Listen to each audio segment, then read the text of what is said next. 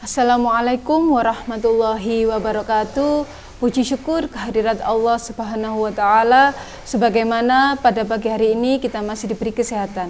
Senang sekali pada pagi hari ini kita bisa berjumpa lagi dengan materi tema yang berbeda. Anak-anakku sekalian, pada pagi hari ini kita akan belajar tema 8 subtema 1 mata pelajaran PKN dengan materi Garuda Pancasila. Nah, di sini pengertian dari Garuda Pancasila. Yang pertama, Pancasila merupakan dasar negara Indonesia. Burung Garuda adalah lambang negara Indonesia. Dan Garuda Pancasila melambangkan kebijaksanaan dan kekuatan. Ciri-ciri tentang Garuda Pancasila. Yang pertama, Garuda Pancasila berwarna kuning keemasan Kepala Garuda menghadap ke kanan, sayap Garuda Pancasila terkembang lebar siap untuk terbang. Pada dada Garuda Pancasila terdapat perisai yang berisikan simbol-simbol Pancasila. Kaki Garuda Pancasila mencengkram pita bertuliskan Bhinneka Tunggal Ika. Di sini ada gambar burung Garuda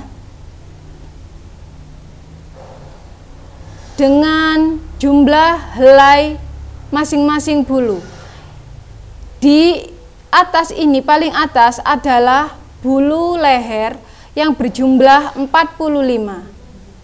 Dan yang kedua ada jumlah bulu sayap berjumlah 17.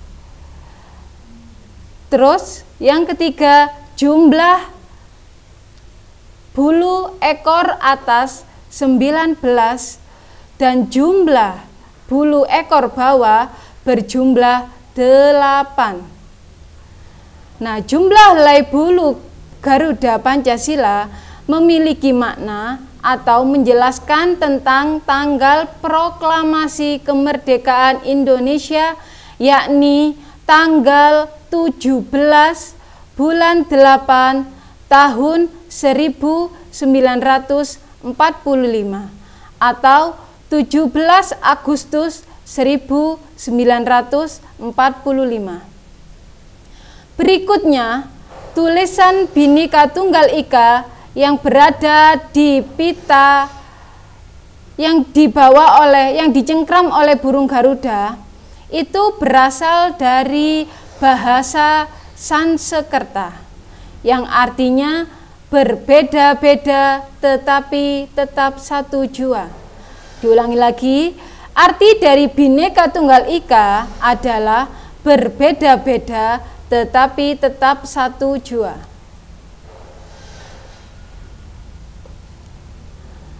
Nah, ini untuk tugas di rumah. Yang pertama, yakni apa dasar negara kita. Yang kedua, Jelaskan pengertian dari lambang negara. Yang ketiga, apa lambang negara kita? Yang keempat, apa arti dari Bhinneka Tunggal Ika? Yang kelima, bulan peristiwa proklamasi kemerdekaan Republik Indonesia ditunjukkan oleh Yang keenam, lambang sila ketiga Pancasila adalah Yang ketujuh, Bineka Tunggal Ika berasal dari bahasa. Yang nomor delapan, apa nama hewan yang menyerupai Garuda Pancasila? Nomor sembilan, tanggal berapa proklamasi kemerdekaan Indonesia? Dan yang terakhir, sebutkan ciri-ciri Garuda Pancasila.